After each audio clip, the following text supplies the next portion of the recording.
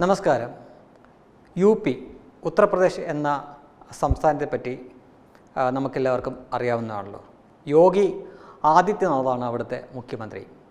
അവിടെ നമ്മുടെ സംസ്ഥാനത്തേക്കാൾ നാലിരട്ടി വിസ്തീർണമുള്ള ഉള്ള സ്ഥലമാണ്. അതേപോലെ തന്നെ നാലിരട്ടി ജനസംഖ്യയുള്ള സ്ഥലമാണ്.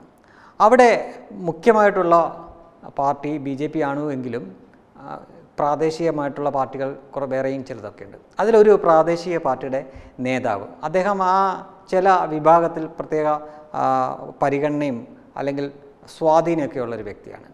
അദ്ദേഹം ലോകസഭ എം പി ആയിരുന്നു. ആദ്യം അദ്ദേഹം ലോകസഭ എം പി ആയിരുന്നു. ലോകസഭ എം പി എന്ന് പറഞ്ഞാൽ അറിയാമല്ലോ അത് ജനങ്ങൾ നേരിട്ട് വോട്ട് ചെയ്ത് തിരഞ്ഞെടുത്ത് എം പിമാരാക്കുന്നതാണ് അപ്പോൾ അങ്ങനത്തെ ഒരു വ്യക്തിയായിരുന്നു അത് കുറേ നാൾ കഴിഞ്ഞപ്പോൾ അദ്ദേഹത്തിന് തോന്നി ലോകസഭ എം പി ആവണ്ട.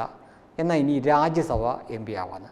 രാജ്യസഭ എം പി എന്നാൽ എം എൽ എമാരാണ് തിരഞ്ഞെടുത്ത് വിടുന്നത്. അതായത് ആദ്യം ജനങ്ങൾ എം എൽ എമാരെ തിരഞ്ഞെടുക്കുന്നു. ആ എം എൽ എമാർ തിരഞ്ഞെടുത്ത് ചിലരെ രാജ്യസഭയിലേക്ക് വിടാറുണ്ട്. അപ്പോൾ ജനങ്ങൾ നേരിട്ട് തിരഞ്ഞെടുത്ത് എം പി ആയിരുന്ന ആൾ കുറേ കഴിഞ്ഞപ്പോൾ അദ്ദേഹത്തിന് തോന്നുന്നു അത് പോരാ. എന്നെ ഇനി എം എൽ എമാർ തിരഞ്ഞെടുത്ത് വിടത്തേന്ന്. അദ്ദേഹം ലോകസഭ എം പി സ്ഥാനം രാജിവെക്കുന്നു. പിന്നീട് രാജ്യസഭ എം പി ആവുന്നു. അപ്പോൾ രാജ്യസഭ എം പി അല്ലെങ്കിൽ ലോകസഭ എം പി എന്നൊക്കെ പറഞ്ഞു കഴിഞ്ഞാൽ ഏഴ് എം എൽ എമാർക്ക് തുല്യമാണ്. ഉദാഹരണത്തിന് നമ്മുടെ കേരളത്തിന്റെ കാര്യം പറയുവാണെങ്കിൽ ഏഴ് എം എൽ എമാർക്ക് തുല്യമാണ് ഒരു എം പി. ഏഴ് എം എൽ എമാർ പ്രതി പ്രതിനിധീകരിക്കുന്ന എല്ലാ ആ സ്ഥലങ്ങളെല്ലാം കൂടി ചേർന്ന് കഴിഞ്ഞാൽ അതായിരിക്കും ഒരു എം പിയുടെ കീഴിൽ വരുന്നത്. അപ്പോൾ അത്രയും വലിയ ഒരു സ്ഥാനമാണ്. രാജ്യസഭ എം പി ആയിട്ട് ഇങ്ങനെ പോകുമ്പോഴാണ് ഇദ്ദേഹത്തിന് തോന്നുന്നു ഇത് ഇനി രാജ്യസഭ എം പി ആവേണ്ട ഒരു എം എൽ എ ആയി കളയാം. അങ്ങനെ രാജ്യസഭ എം പി സ്ഥാനം രാജിവെച്ചിട്ട് എം എൽ എ ആയിട്ട് മത്സരിക്കാൻ നേരിട്ട് കളത്തിലിറങ്ങുന്നു. പക്ഷേ ജനങ്ങൾ ഈ മനുഷ്യനെ തോപ്പിച്ചു. തോപ്പിച്ചു തന്റെ കൂടെയുള്ള വേറെ ചിലരൊക്കെ എം എൽ എ ആവുകയും ചെയ്തു. അപ്പോൾ കയ്യിലിരുന്ന രാജ്യസഭാ സീറ്റ് പോവുകയും ചെയ്തു. എം എൽ എ ആവാൻ നോക്കിയിട്ട് നടന്നുമില്ല. ഉത്തർപ്രദേശാണെന്ന് ഓർക്കണം കേട്ടോ. അവിടെ നമ്മൾ ഇതും ഇതിന്റെ അപ്പുറമൊക്കെ പ്രതീക്ഷിക്കണം. അങ്ങനെ ഇരുന്ന കുറേ നാൾ കഴിഞ്ഞു. പക്ഷേ അദ്ദേഹത്തിന്റെ മുന്നണി അങ്ങ് ജയിച്ചു. ആ സംസ്ഥാനത്ത് ഭരണത്തിൽ വന്നു. അദ്ദേഹം അതിന്റെ ഒരു ഭാഗമായി. പക്ഷേ പറയാൻ ഒരു സ്ഥാനമില്ല. എം പി സ്ഥാനമില്ല. അത് രാജ്യസഭ എം പി സ്ഥാനമില്ല. ലോകസഭ എം പി സ്ഥാനമില്ല. എം എൽ എ ആയിട്ട് മത്സരിക്കാൻ നോക്കി തോക്കുകയും ചെയ്തു. അങ്ങനെ വന്നപ്പോൾ എന്ത് ചെയ്തു? കുറേ നാൾ കഴിഞ്ഞപ്പം ഇദ്ദേഹം തന്നെ ഇദ്ദേഹത്തിന്റെ പേര് വീണ്ടും രാജ്യസഭ എം പി ആയിട്ട് എന്നെ തന്നെ വേണമെന്ന രീതിയിൽ മുന്നണിയോട് ശുപാർശ ചെയ്യുന്നു. അങ്ങനെ മുന്നണി സമ്മതിക്കുന്നു.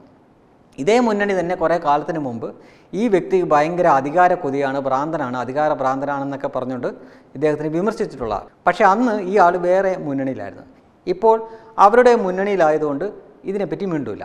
എന്തായാലും ഇപ്പോൾ അവസാനം വന്നിരിക്കുന്നത് അദ്ദേഹം വീണ്ടും രാജ്യസഭ എം പി ആവാൻ പോകുന്നു എന്നാണ്. ഇതൊക്കെ കേൾക്കുമ്പോൾ നമുക്ക് തോന്നാറില്ലേ? എന്തൊരു മണ്ടൻ ചേരുന്നതാണ് അവിടെ ഏ? രാഷ്ട്രീയ പ്രബുദ്ധത എന്ന് പറഞ്ഞത് തൊട്ട് തീണ്ടിയിട്ടില്ലാത്ത ഒരു ജനതയാണ് എന്ന് തോന്നത്തില്ലേ ഉത്തർപ്രദേശിലെ? ഉത്തർപ്രദേശ് എന്ന് കേൾക്കുമ്പോൾ നമുക്ക് ഇതും കൂടെ കേൾക്കുമ്പം നമ്മളങ്ങ് ഉറപ്പിക്കും ശരിയാ. എന്തൊരു മണ്ടൻ എന്തൊരു വിര വിവരമില്ലാത്ത എന്തൊരു രാഷ്ട്രീയ പ്രബുദ്ധതയില്ലാത്ത ജനങ്ങളാണ് അവർ ഇങ്ങനെ ഒരാളെ ഇങ്ങനെയൊക്കെ ആക്കാൻ പാടുണ്ടോ എന്ന്. ഇനി നിങ്ങൾ നേരെ കേരളത്തിലേക്ക് വരാം. ഇത് നടന്നത് നമ്മുടെ ഈ കൊച്ചു കേരളത്തിലാണ്. ഈ വ്യക്തിയുടെ പേര് ജോസ് കെ മാണി എന്നാണ്. ഇപ്പോൾ നിങ്ങൾക്ക് കഥ മനസ്സിലായല്ലോ. ഇനി സ്വയം ചിന്തിക്കണം. ഓരോരുത്തരും സ്വയം ചിന്തിക്കണം. മലയാളിയുടെ രാഷ്ട്രീയ പ്രഭുത്വത ഈ കൊട്ടിക്കോഷിച്ചുകൊണ്ട് നടക്കുന്ന പ്രഭുത്വത ഈ അയൽപക്കത്തൂടെ എങ്കിലും പോയിട്ടുണ്ടോ എന്ന് ഓരോ മലയാളിയും ചിന്തിക്കണം. കഥ തൽക്കാലം ഇവിടം കൊണ്ട് നിർത്തുന്നു. വെബ് ഡെസ്ക് തത്വമൈ